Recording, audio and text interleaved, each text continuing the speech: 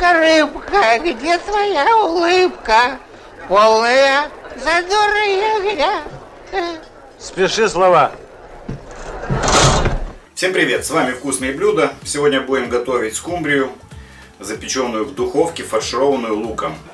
Что нам нужно для приготовления данного блюда?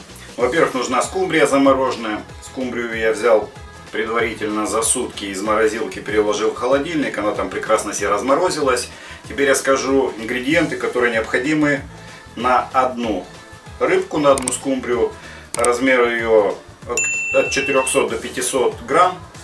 Значит, что нам нужно?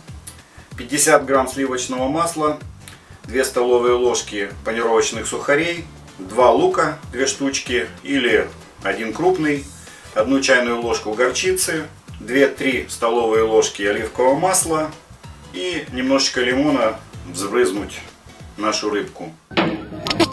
Вперед.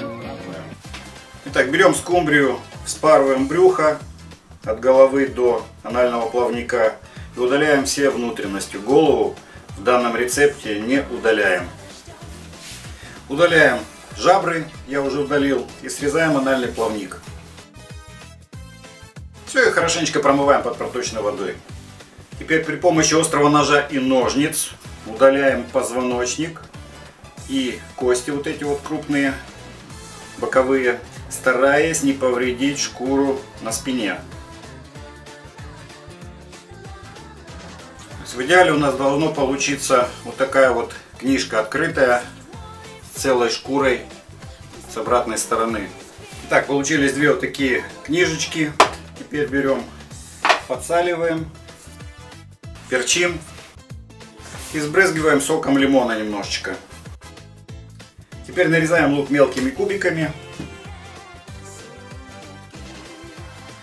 Добавляем сюда оливковое масло и обжариваем на среднем огне до приобретения золотистого цвета.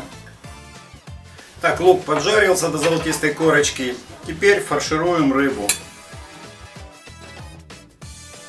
Так, рыба нафаршировали. Теперь берем бечевочку, подвязываем, чтобы рыба не расползалась.